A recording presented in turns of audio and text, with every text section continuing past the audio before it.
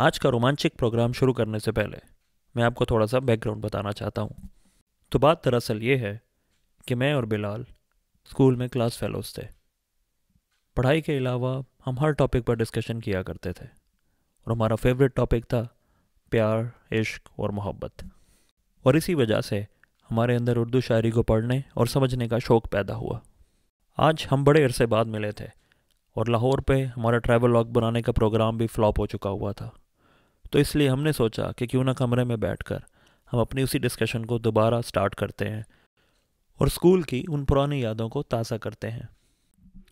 मैं चाहता था कि इस प्रोग्राम के लिए हम एक स्क्रिप्ट फॉलो करें, लेकिन बिलाल ने कहा कि नहीं, हम कैमरा ऑन करेंगे और बातें शुरू कर देंगे और उसके बाद जो भी रिकॉर्ड होगा उसे अपलोड कर देंगे।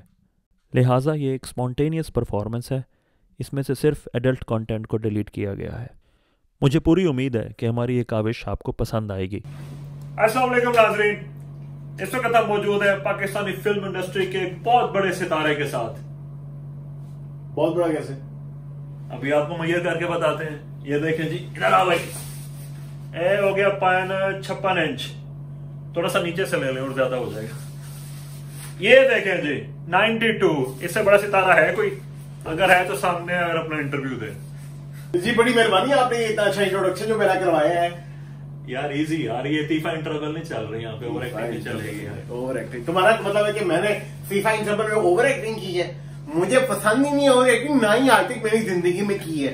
मैं कहता हूँ नेचुरल एक्टिंग ये जो होता है ना बना बना के बोलना ये नहीं होता मुझसे। यार जाना जरा बिलाल को बुला के लाना। मरूमा में बिलाल के इंटरव्यू ले रहे हैं। उन्होंने अपने हेयर स्टाइलिस्ट को इधर बिठा दिया। अगर मैं हेयर स्टाइलिस्ट होता ना तो मैं ये होता अरे क्या हाल है? अब ठीक है मैं सब कह के लिए थे। मैं इस कमरे में ना होता मैं। किस कमरे में होता है? ठीक है जी ठीक है। यार Bilal nice to see you कितना अरसा हो गया यार। छह साल बाद छह साल बाद। आखिरी दफ़ा हम कब मिले थे यार? आखिरी दफ़ा हम तब मिले थे जब तुम हमारे नहीं रहने वाले थे। ओहो। तुम्हारे निकाह के दिन पे। रिले हाँ। अच्छा यार आप नाजरीन को स्टोरी बनाए क्या स्टोरी थी? क्या? निकाह के दिन हाँ जी निकाह के दिन पे मैं कैसे पहुँचे इनके? ये भाई साहब थे कहाँ पे थे? कतर थे अमेरिका थे? कतर ये भाई साहब थे कतर में। मैं था लाहौर में। इनका निकाह होना था लाहौर में।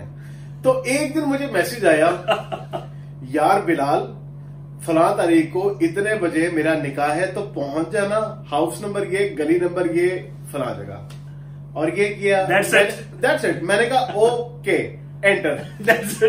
एक महीना गुजर गया। वो हमारी कोई कम्युनिकेशन नहीं। वो डेट आई है वो टाइम हुआ आगे मैं बता रहा वो डेट आई है घर वाले आए हुए थे। उन्होंने कहा कि जी दो लोग हैं हमारी फैमिली की तरफ़ से दो लोग थे। तीसरा बंदे की तलाश अभी वो सोच रहे थे कि यार तीसरा बंदा। मैंने कहा यार मेरा ख्याल है कि मेरा एक दोस्त आएगा। तो अभी इमाम साहब तैयार हो रहे थे हमने घड़ी पे टाइम देखा वन थर्टी शार्प बेल बजी टिंग टिंग। उसके बाद जाकर उन्होंने दरवाज़ा खोला। उन्होंने कहा जी कोई मजाइया सा बंदा दरवाजे पे आया हुआ है। और उस मजाइया से बंदे के साथ मैं भी था मैं जरा पीछे खड़ा हुआ था। यार बहुत मदद बहुत बदतमीज है तुम्हारे घर वाले। शादी होगी अब कह सकते हो। बात है। तो भाई ये सीन हुआ था हमारे साथ तो। भाई ये जो दोस्ती होती है ना सीरियसली दोस्ती में कनेक्शन बड़ा ही मुख्तलिफ़ किस्म का होता है। वो बाज लोग होते हैं जिनका असली ज़िंदगी में एक भी दोस्ती होता है और फेसबुक पे बारह सौ फ्रेंड्स होते हैं। वो ये कहते हैं नाइस नाइस पिक डियर तो वो वो और सीन होता है और असली दोस्ती में और सीन होता है। असली दोस्ती में आपको कांटेक्ट मेंटेन करने की ज़रूरत नहीं होती। आपका कनेक्शन हार्ट के लेवल पर सही बात है। हमारा हमारा हार्ट के लेवल पर कनेक्शन है। आप बंद करो बल्कि हम तो आपस में बहुत प्यार यार करते हैं। ये हमारा पीजी थर्टीन शो है ठीक है? Okay. बच्चे भी देखते हैं यूट्यूब वाले सबसे पहले ये पूछते हैं कि made for kids or not आजकल बड़ी सख्ती है यार वैसे भी ना अपने से ही नहीं चल रही। अच्छा यार बिलाल थैंक यू यार for coming made for kids का ये मतलब होता है कि is it suitable for kids हाँ। जब भी मैं कोई अपनी वीडियो अपलोड करता हूँ तो वो कहता है मेड फॉर किड्स मैं कहता हूँ नो क्योंकि मुझे लगता है इसका मतलब है कि ये कोई हाँ, हाँ, नहीं है। हाँ मेड फॉर किड्स का मतलब कि बच्चों के लिए बनाई है आपने हाँ, प्राइमरी मकसद उसका ये है हाँ। डॉक्टर हूँ मैं डॉक्टर। हूँ कहाँ से किया था डॉक्टर? सारा काट जो मर्ज़ी कर ले पिशावर- काटना पिशावर टिम्बर मंडी से किया था आपने? अच्छा। यार कभी थोड़ा बहुत पढ़ लिया। यार तुझे स्कूल याद है वहाँ का तो क्या मिस करता है? यार एक वाटर कूलर हुआ करता था वहाँ पे। वो कोने में वो हमारा प्रिंसिपल था बदतमीज आदमी। वाटर कूलर नहीं नहीं वो तो दाढ़ी वाला था। तू वहाँ प्रिंसिपल भी था। अच्छा सारा काटो इधर नहीं कोई मसला नहीं यार ये तो बदतमीजी है जहाँ पे अपनी बिस्कियों को काट देना अच्छा। अच्छा यार हाँ हम स्कूल से एट्थ क्लास में जब तू आया था तो नाइन्थ क्लास में। नाइन्थ क्लास में तब हम मिले थे ठीक है? तूने ऑरेंज कलर की शर्ट पहनी थी पहले दिन। तो स्कूल में यूनिफॉर्म तेरे पास थी नहीं क्योंकि तू नया नया तेरी फैमिली शिफ्ट हुई थी उन्हें पता नहीं था कि यूनिफॉर्म खरीदनी कहाँ से है। यूनिफॉर्म भी होती है। और कोई भी पूरे शहर में तेरा साइज़ अवेलेबल नहीं था अच्छा लिटरली ऐसा होता मैंने मुल्तान से जाके सिलवाया था अपना यूनिफॉर्म ये हुआ था। यार स्टाइलिश है ना तू स्टाइलिश शुरू से स्टाइलिश सारे कपड़े तेरे सिल के आते थे। अंडरगारमेंट्स तक सिल कर क्योंकि अवेलेबल नहीं होते थे। ऐसा ही है ऐसा ही है ब्रो ऐसा ही है। कलर भी ऑरेंज है ना? ऑरेंज कलर ज़बरदस्त यार। हाँ। तुझे क्या मिस करता है यार? तू क्या मिस करता है? यार जो मैं मिस करता हूँ वो अगर मैंने बता दिया तो तूने काट देना। तो मैं फिर ये कह दूँ मैं पढ़ाई को बहुत मिस करता हूँ कि ना पढ़ाई बहुत अच्छी थी इतनी अच्छी पढ़ाई थी। हम स्टडियाँ करते थे इतनी स्टडियाँ करते थे बुकें हमारे पास होती थी। और हम बहुत ज़्यादा बहुत स्टडी किया हमने। मेंढक भी पकड़ पकड़ के ऐसे और यार ओ हमारी मैडम थी। तो उन्होंने कहा कि जनाब मेंढक की डाइसेक्शन होनी है। तो मेंढक कौन लाएगा? मैंने कहा मेरा अब्बा मजिस्ट्रेट है। मैं मेंढक लेके आऊँगा भाई ये तो ऑब्वियसली मैं कहा मैडम मैं लाऊँगा। उन्होंने कहा चलो ठीक है तीन मेंढक चाहिए बड़े वाले। मैंने कहा ओके हो गया अब्बा मजिस्ट्रेट है। मेंढक कौन सा मसला है? जाके मैंने अब्बू से कहा अबू ना परसों ना दरअसल तीन है तो मेंढक चाहिए थे। तो पता नहीं क्यों अब्बा जी ने इस बात पे थोड़ी सी बिस्ती की कि बेटे मजिस्ट्रेट का कम टटू पड़ना नहीं होता। खैर उन्होंने किसी के जिम्मे लगाया। वो एंड वक्त दिन पे एंड टाइम पे ना आया और वो लेट आया था बंदा। हाँ, हाँ, हाँ। लेकिन वो डट्टू ले आया था शुक्र है। ओह मतलब डट्टू आ गए थे तो इज़्ज़त बात की इसका इसमें एक गंदा लतीफा भी होगा बाद में सुनाऊँगा कि क्या चीज़ थी तो इज़्ज़त बात की ठीक है। वो जो है ना बिहाइंड द सीन्स में डाल दे। अच्छा जी। चल यार तो तू तो वाटर कूलर क्यों मिस करता है?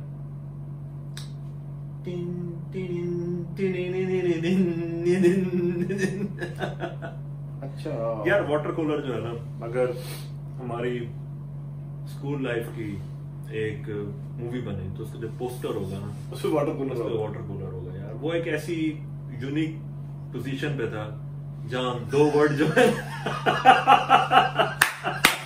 और मुझे अब याद आया वो लड़कों और लड़कियों के फ़िल्म के दरमियान में पड़ा होता था।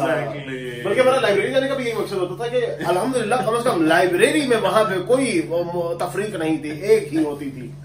Exactly exactly. हाँ। वो एक बड़ा ज़बरदस्त इंटरसेक्शन होता था और सारे जो है ना प्यासे परिंदे हाँ। ब्रेक टाइम पे वहाँ पर इकट्ठे होते थे। बिल्कुल और अपनी अपनी प्यास बुझाते थे।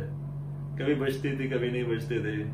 साड़ी लेकिन- देखते थे भी नहीं कुछ ओए होए होए। वो यार हाँ। बड़ा ज़बरदस्त। अच्छा मैं सीन ये हुआ था तो मैं नाइन्थ क्लास में था तो हमारे साथ हमारी एक सीनियर होती थी या- टेंथ क्लास में। नाम नहीं लूँगा ऑब्वियसली नहीं लूँगा। इनका नाम बिल्कुल नहीं लूँगा। तो मुझे उनसे हो गया प्यार। यार वो ऐसा सच्चा कोई प्यार था ना। ओ हो हो हो। हो। वो जो तीन साल वो स्कूल में नहीं ना मतलब हम फ़र्स्ट ईयर में पहुँचे वो सेकंड ईयर करके निकल गए जब हम बेसिकली सेकंड ईयर में पहुँचे। तो वो तीन साल मैंने ऐसा सच्चा प्यार किया कि मैंने उससे जाके बात तक नहीं की यार। और लेकिन सीन क्या था? उस लड़की को पता लग गया था। वो एक हमारे म्यूचुअल फ्रेंड लड़की को नहीं पूरे स्कूल का पता चल गया था भाई साहब। ये कटेगा ना? ये तो कभी नहीं कटेगा। ठीक है मेरे दोस्त। लेकिन बहरहाल वो एक मज़ेदार सीन था। हाँ यार। बहुत अच्छा जब वो लड़की गुजरती थी तो ये लोग मुझे उसका ये बड़ा अब मैं कहता हूँ वो लड़की बैठे थे ना सारे और तो लड़की गुजरती थी और ये सारे मुझे कहते थे बिलाल बिलाल! और बिलाल भाग रहा होता था। अच्छा कि मुझे बिलाल नहीं कहते थे मैं बब्बू कहते थे या बब्बू कारपेट या भालू और दो तीन और गैर मुनासिब नाम थे जो कतन किसी इंसान को नहीं देने चाहिए वो नाम। ठीक है जी अपने आप को प्रोजेक्ट कर रही है। जी सर। अगला रोल मिल गया है अगली फ़िल्म साइन हो गई है। अब कंटेंट पे बात करें। जी सर। ठीक है गुड वेरी गुड अच्छा। फ़िल्म देखी है आपने? आम खाएँगे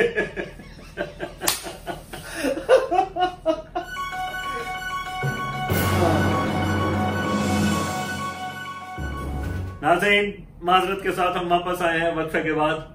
हम दोबारा गुफ्तगू शुरू करेंगे। वक्फे के बाद माजरत के साथ वापस आए हैं। सॉरी हमें नहीं आना चाहिए था। हमें माफ़ कर दें। और आप भी ये माजरत करेंगे कि आपने इस वीडियो पे क्लिक क्यों किया? देखो मेरी बात सुनो। अगर वीडियो पे क्लिक कर दिया ना तो फिर माजरत नहीं करनी। ज़िंदगी में जो एक फैसला कर लिया है ना हम उस पर स्ट्रिक्ट रहना है। अब ये पूरी वीडियो देखेंगे शैतान आपको वीडियो देखने से रोकेगा। लेकिन आपने ये वीडियो देख ली है आगे शेयर करनी है क्योंकि ये हमारे मुल्क की सालमियत यकजहती और अखुवत का मसला है। यार साथ आसिम बाजो को भी टैग कर दे ट्वीट में। आई एस पी आर इस प्रोग्राम के मेजबान के ख्यालात से मेहमान का मुत्तफिक होना ज़रूरी नहीं। ये उसके जाती ख्यालात हैं। बेटे तूने तो कतर चले जाना है मैंने यहीं रहना है। अच्छा जी। ठीक है यार। प्लीज़ यार थोड़ा सीरियस टॉपिक पे बात करें जी। वाटर कूलर से जरा मूव कर लो वहीं स्टक हो गए यार। आप। ठंडा पानी जरा सा अपने मुँह पे डालो वापस आओ। जी। तो यार क्या डिफरेंस है यार उस वक्त? जो हमारे स्कूल में एक्टिविटी होती थी। प्यार इश्क मोहब्बत। और आजकल के यार तेरी बड़ी गहरी नज़र है इस सारे यंग जनरेशन पे सोशल मीडिया पे। तेरे लोगों से इंटरेक्शन होता है। क्या डिफरेंस नज़र आता है? यार सबसे बड़ा डिफरेंस तो ये है कि हमें ये था कि एक वो होता था कि अगर कोई प्यार हो गया किसी लड़की से तो उसकी एक झलक नज़र आ जाए। एक सेकंड यार। प्यार है क्या यार? पहले डिफाइन तो कर। मोहब्बत क्या है? ये क्या है मोहब्बत? मोहब्बत। अंजलि? मोहब्बत बेसिकली तो ये है कि आप जब फैसला कर सकते हैं ना कि कर लेते हैं कि फैसले ही है सारे। नहीं कि ये जो अच्छी साइड भी बता दो ये जो कि। ये चाचू। ये जो है ना इसके साथ तो मैंने तो होती है मोहब्बत। नहीं यार मोहब्बत बड़ा पाक जज्बा है। वो कहते हैं ना कोई जंजीर हो आहन की चांदी की रिवायत की मोहब्बत। तोड़ सकती है। बहुत ये ऐसी ढाल है जिस पर जमाने की किसी तलवार का लोहा नहीं चलता ये ऐसा शहर है जिसमें किसी आमिर किसी सुल्तान का सिक्का नहीं चलता अगर चश्मे तमाशा में जरा सी भी मिलावट हो ये आईना नहीं चलता ये ऐसी आग है जिसमें बदन शोलों में जलते हैं तो रूहें मुस्कुराती हैं। ये वो सैलाब है जिसको दिलों की बस्तियाँ आवाज़ देकर खुद बुलाती हैं। ये जब चाहे किसी भी ख्वाब को ताबीर मिल जाए जो मंजर बुझ चुके हैं उनको भी तनवीर मिल जाए। दुआ जो बेठिकाना थी उसे तासीर मिल जाए किसी रस्ते में रास्ता पूछती तकदीर मिल जाए। मोहब्बत रोक सकती है किसी जलते शरारे को फना के इस्तेहारे को समय के तेज धारे को। मोहब्बत रोक सकती है किसी गिरते सितारे को। सितारे को यार क्या बात है। ये चूर आईने की किरचें जोड़ सकती है। जिधर चाहे ये बागे मौसमों की मोड़ सकती है। कोई जंजीर हो उसको मोहब्बत तोड़ सकती है। एपिक ऐसे एपिक ये वो गज़ल थी जी जो जनाब मरहूम अहमद बिलाल साहब ने घर से अपने अबू की किताब से अमजद इस्लाम अमजद की बुक से चुरा के। मेरे अबू नहीं है। मेरे अबू की वो किताब थी जो कि उनकी लाइब्रेरी में थी इसलिए उनकी थी। वो कौन नॉन टेक्निकल आदमी है बस यार सारे इमोशन तेरी तारीफ़ करने वाले। तारीफ़ कर रहे मेरा अबू तूने बदल दिया है मुझे तारीफ़ की क्या ज़रूरत है भाई? अब्बा फिर खुद तारीफ़ वापस कर लो। उनकी लाइब्रेरी में से एक किताब जो अमजद इस्लाम अमजद साहब ने लिखी थी उसमें से तो वो गज़ल लिख कर लाया और इसने आकर मुझे दी। और उसके बाद मैंने उसे कॉपी किया और उसके बाद हमारा एक ही होता था काम कि यार घर जाना है इस गज़ल को जुबानी याद करना है और उस पर रैप करना है। अच्छा। अमेजिंग यार और वो और जो इसमें मुझे सबसे सबसे मज़ेदार चीज़ लगी है ना या वो भला क्या है? वो ये कि जो गज़ल है ना ये सिर्फ़ नज्म है।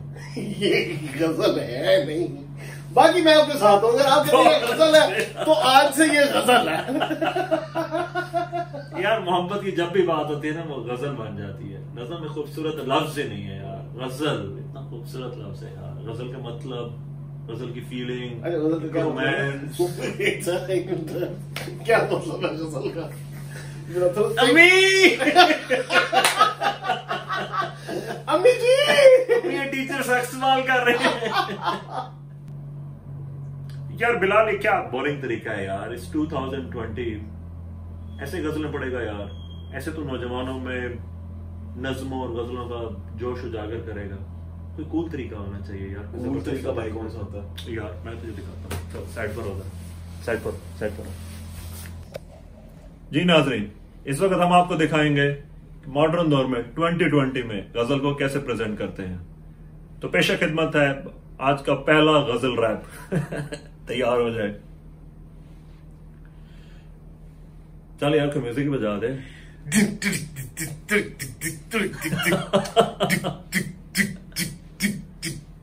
मोहब्बत जीत होती है मोहब्बत मात होती है मोहब्बत जात होती है जात की तकमील होती है। कोई अपनों से जब रूठे किसी जंगल में बस जाए किसी बस्ती में जा ठहरे मोहब्बत साथ होती है मोहब्बत साथ होती है।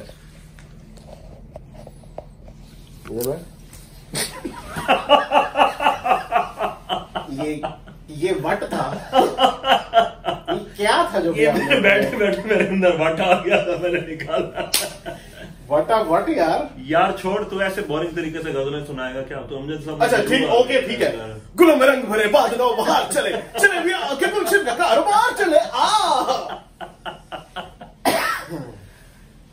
अजीब अच्छा। मुकाबला करना तो रैप का। आ जा फिर मुकाबला कर। चलो करें। मोहब्बत ऐसा दरिया है कि बारिश रूट पी जाए पानी कम नहीं होता। पानी कम नहीं होता। अच्छा तूने जब बोला तो इस इस छोटी नज़र का मेरे दिल में जो मतलब आया ना, वो ज़िंदगी में कभी नहीं आया। तो पानी कम प्लीज़ ये एडिट ना करना। ये ज़रूर मोहब्बत होती है पानी काम कर रहे हैं कि नहीं